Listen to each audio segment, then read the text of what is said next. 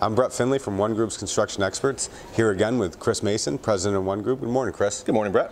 Um, good to have you here. So, what we're going to talk about today is workers' compensation, which coincidentally happens to be Chris's area of expertise. Chris, um, tell me a little bit about your background. Sure. First of all, happy to be here with you. Um, I'm an attorney. Mm -hmm. Don't hold that against me. uh, I've practiced workers' compensation law since I got out of law school 25 plus years ago, and I, I practiced with a firm uh, representing employers uh, and then thereafter began a workers' comp third-party administrator where we manage workers' compensation claims. Okay. And I can't tell you internally how big of a resource that is. Um, as most of you know, workers' compensation in New York State is an absolute bear. Um, so Chris, if you could tell us a little bit about what you see on the horizon.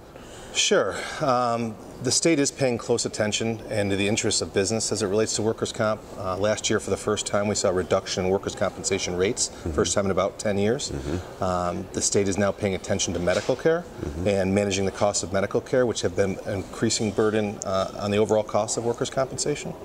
Which is big because as an employer, when's the last time your insurance agent or any professional you work with walked in and told you that your workers' compensation rates were dropping? That's it's not something you hear often. Um, something else maybe that they should keep in mind?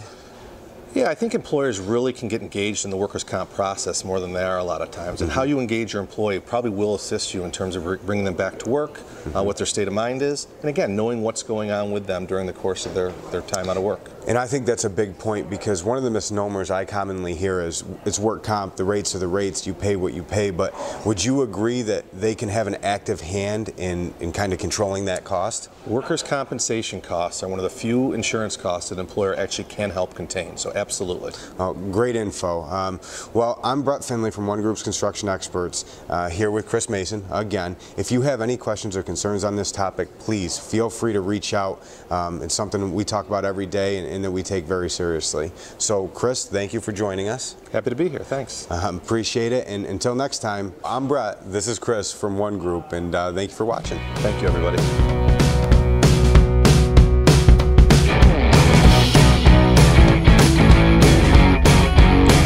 As always, thanks for watching today's videos. If you liked what you saw and you want to see some more, don't be scared to like, share, subscribe, do whatever you got to do down below. We appreciate it. Till next time.